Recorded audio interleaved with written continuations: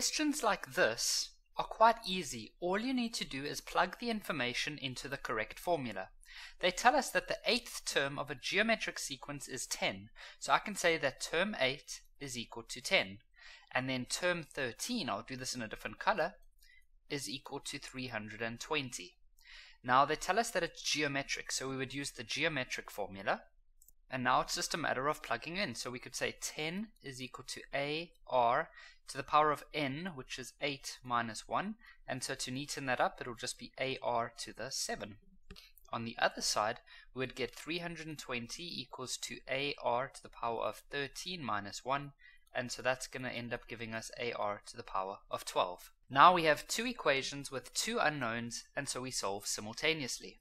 And so there's various ways you could do this. What I'm going to do is I'm going to take this equation over here and I'm going to get A alone. And so A would be equal to 10 over R7. I would then plug that into the place of A over here. And so this means we're going to have 320 equals to 10 over R7 multiplied by R12.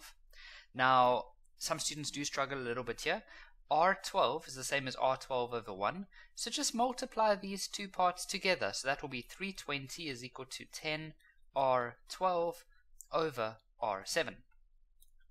Now R12 over R7 becomes R5. Can then divide by 10 and so you'd end up with 32 is equal to R to the power of 5.